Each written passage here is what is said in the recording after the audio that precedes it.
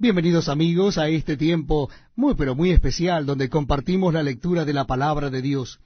Y en esta oportunidad les invito a que busquen en el Nuevo Testamento Evangelio según San Lucas capítulo 7.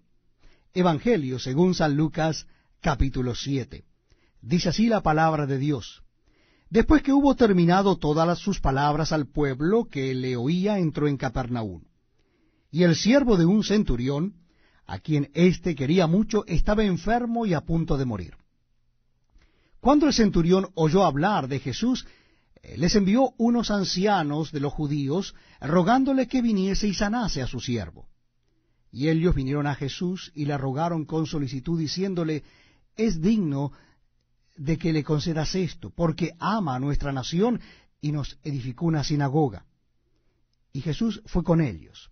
Pero cuando ya eh, no estaban lejos de la casa, el centurión envió a él unos amigos, diciéndole, Señor, no te molestes, pues no soy digno de que entres bajo mi techo, por lo que ni aún eh, me tuve por digno de venir a ti, pero di la palabra, y mi siervo será sano. Porque también yo soy hombre puesto bajo autoridad, y tengo soldados bajo mis órdenes, y digo a este, ve y va, y al otro, ven y viene, y a mi siervo, hace esto y lo hace. Al oír esto, Jesús se maravilló de él, y volviéndose, dijo a la gente que le seguía, os digo que ni aun en Israel he hallado tanta fe. Y al regresar a casa, los que habían sido enviados hallaron sano al siervo que había estado enfermo. Aconteció después que él iba a la ciudad que se llama Naín, e iban con él muchos de sus discípulos y una gran multitud. Cuando llegó cerca de la puerta de la ciudad, he aquí que llevaban a enterrar a un difunto, hijo único de su madre, la cual era viuda, y había con ella mucha gente de la ciudad. Y cuando el Señor la vio, se compadeció de ella y dijo, no llores. Acercándose tocó el féretro, y los que lo llevaban se detuvieron, y dijo, joven, a ti te digo, levántate. Entonces se incorporó el que había muerto y comenzó a hablar, y lo dio a su madre. Y todos tuvieron miedo y glorificaban a Dios diciendo, un gran profeta se ha levantado entre nosotros y Dios nos ha visitado a su pueblo. Y se extendió la fama de él por toda Judea y por toda la región de alrededor. Los discípulos de Juan le dieron las nuevas de todas estas cosas. Y llamó Juan a dos de sus discípulos y los envió a Jesús para preguntarle, ¿Eres tú el que había de venir o esperaremos a otro? Cuando pues los hombres vinieron a él, dijeron, Juan el Bautista nos ha enviado a ti para preguntarte, ¿eres tú el que había de venir o esperaremos a otro? En esa misma hora sanó a muchos de enfermedades y plagas y de espíritus malos, y a muchos ciegos les dio la vista. Y respondiendo Jesús les dijo, Id, haced saber a Juan lo que habéis visto y oído. Los ciegos ven, los cojos andan los leprosos son limpiados, los sordos oyen, los muertos son resucitados, y a los pobres es anunciado el Evangelio. Y bienaventurado es aquel que no halle tropiezo en mí. Cuando se fueron los mensajeros de Juan, comenzó a decir de Juan a la gente, ¿qué salisteis a ver al desierto? ¿Una caña sacudida por el viento?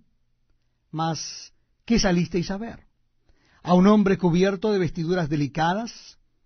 He aquí, los que tienen vestidura preciosa y viven en deleites, en los palacios de los reyes están. ¿Mas qué salisteis a ver? ¿A un profeta? Sí, os digo, y más que profeta. Este es de quien está escrito, He aquí, envío mi mensajero delante de tu faz, el cual preparará tu camino delante de ti. Os digo que entre los nacidos de mujer no hay mayor profeta que Juan el Bautista. Pero el más pequeño en el reino de Dios es mayor que él. Y todo el pueblo y los publicanos cuando lo oyeron justificaron a Dios, bautizándose con el bautismo de Juan. Mas los fariseos y los intérpretes de la ley desecharon los designios de Dios respecto de sí mismos, no siendo bautizados por Juan. Y dijo el Señor, ¿A qué pues compararé los hombres de esta generación y a qué son semejantes? Semejantes son a los muchachos sentados en la plaza, que dan voces unos a otros y dicen, os tocamos flauta y no bailasteis, os endechamos y no llorasteis. Porque vino Juan el Bautista, que ni comía pan ni bebía vino, y decís, demonio tiene. Vino el Hijo del Hombre, que come y bebe, y decís, este es un hombre comilón y bebedor de vino, amigo de publicanos y de pecadores. Mas la sabiduría es justificada por todos sus hijos. Uno de los fariseos rogó a Jesús que comiese con él. Y habiendo entrado en casa del fariseo se sentó a la mesa. Entonces una mujer de la ciudad que era pecadora, al saber que Jesús estaba a la mesa en casa del fariseo, trajo un frasco de alabastro con perfume, y estando detrás de él a sus pies, llorando, comenzó a regar con lágrimas sus pies y los enjugaba con sus cabellos, y besaba sus pies, y los ungía con el perfume. Cuando vio esto el fariseo que le había convidado, dijo para sí, Este, si fuera profeta, conocería quién y qué clase de mujer es la que le toca, que es pecadora. Entonces, respondiendo Jesús, le dijo, Simón, una cosa tengo que decirte. Y él le dijo, di maestro, un acreedor tenía dos deudores. El uno le debía quinientos denarios y el otro cincuenta. Y no teniendo ellos con qué pagar, perdonó a ambos. Di pues, ¿cuál de ellos le amará más? Respondiendo Simón dijo, pienso que aquel a quien perdonó más. Y él le dijo, rectamente ha juzgado. Y vuelto a la mujer, dijo a Simón, ¿ves esta mujer? Entré en tu casa, y no me diste agua para mis pies, mas ésta ha regado mis pies con lágrimas, y los ha enjugado con sus cabellos. No me diste beso, mas ésta, desde que entré, no ha cesado de besar mis pies.